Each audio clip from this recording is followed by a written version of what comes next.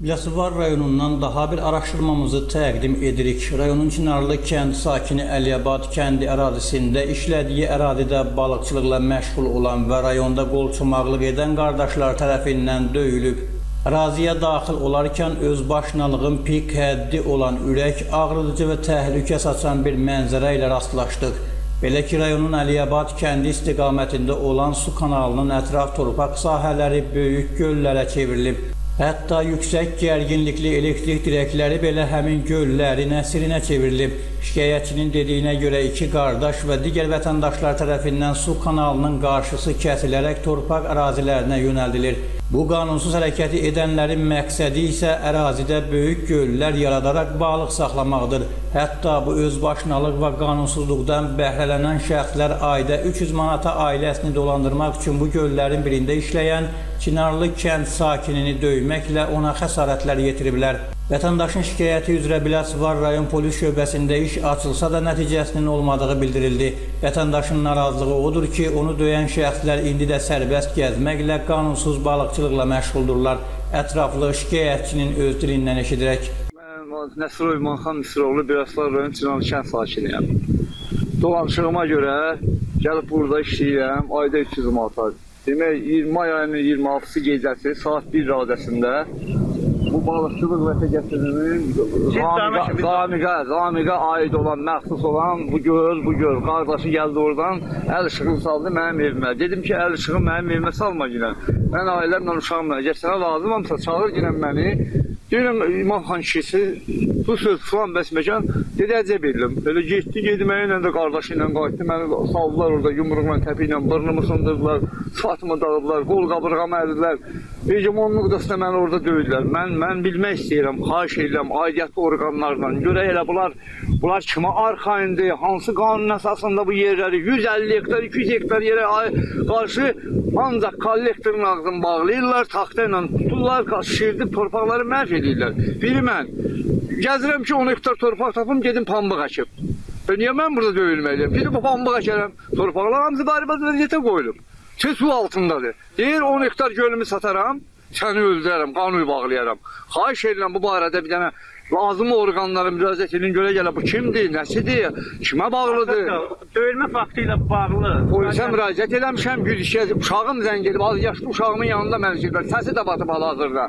Az yaşlı uşağımın yanında məni dövblər, uşağım 102-ni yığıb, 102 oradan polislər gəlib, necə lazımdır, şikayətimi vermişəm, hal-hazırda bu dəqiqə iş orqandadır, xahiş edirəm, amma ictimai, ictimai, bilmirəm, hələ ictimai yerdə, ictimai yerdə əsaiti pozanlara tub atırlar içəri. 5 gündür, 10 gündür məni burada ayaqlayıblar, qabırğamı, qol qabırğamı sındırıblar, bırnımı sındırıblar. Bu adamlar çöldə balıq saxlayırlar. Bunları bir dənə içəri atan yoxdur, bunları bir dənə cəzalandıran yoxdur. E, nəticə yoxdur. Nə, hə, bu nəticə yoxdur. Nə dərəcədədir, bilmirəm. Xahiş edirəm bu barədə lazım orqanlar. Baxılmasa Respublika prokuroruna müraciət edəcəm. Ali Baş komandanımıza müraciət edəcəm. Hələ görün bu kimdir də? Bunlar kimdir ki, bu vəziyyəti yaradırlar? Azaqal. Yəqin ki, bunların sənədləri yoxdur. Yoxdur, yox. Hansı sənədlə? Bu hansı sənədlə? Əgər bu sənədi varsa mən də bilim. Siz də bilin.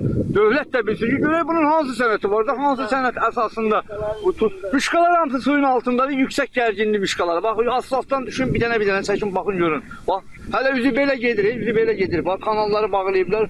Xahiş edirəm bir dənə gedəyim baxın. Bax, kanalları bağlayıblar. Kanalın qabağını dövlətin çəkdiyi kanalın qabağını bağlayıb fırladıb özlərindən istifadə edir. İnanırıq ki, bu kadrlardan sonra aidiyyatı təşkilat sadə zəhmətkeş bir vətəndaşa əl qaldıran, döyüb ona xəsarətlər yetirən şəxslərin qanun qarşısında cəzalandırılmasını təmin edəcəkdir.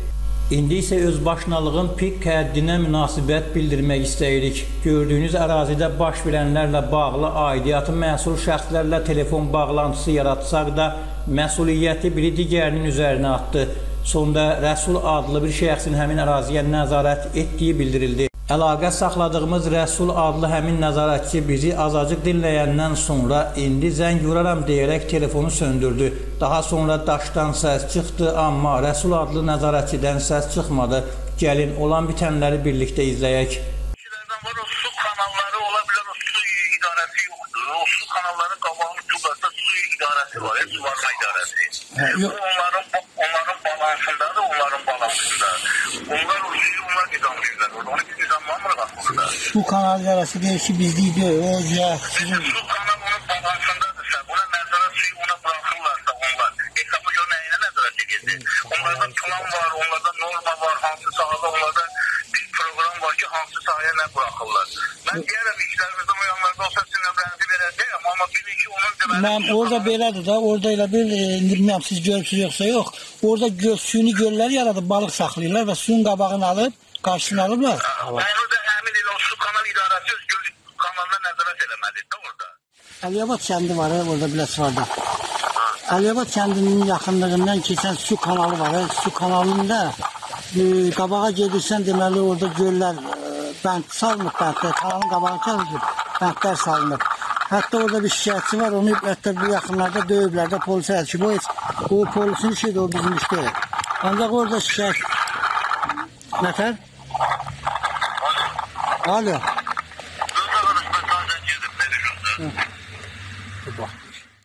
Apardığımız bu araşdırmadan da cinayətin əlamətlərinin olması danılmazdır. Bu səbəbdən də yayımdan dərhal sonra məsələyə hüquqi qiymət verilməsi üçün yayımladığımız kadrları aidiyyatı dövlət təşkilatına göndərəcəyik. İnanırıq ki, Biləsuvarda baş verənlərin bir açıqlaması olacaq. Mövzunu diqqətdə saxlayacağıq. Əkbər Sadiyev, Müqabil Hüseynov, Ümid TV, Biləsuvar.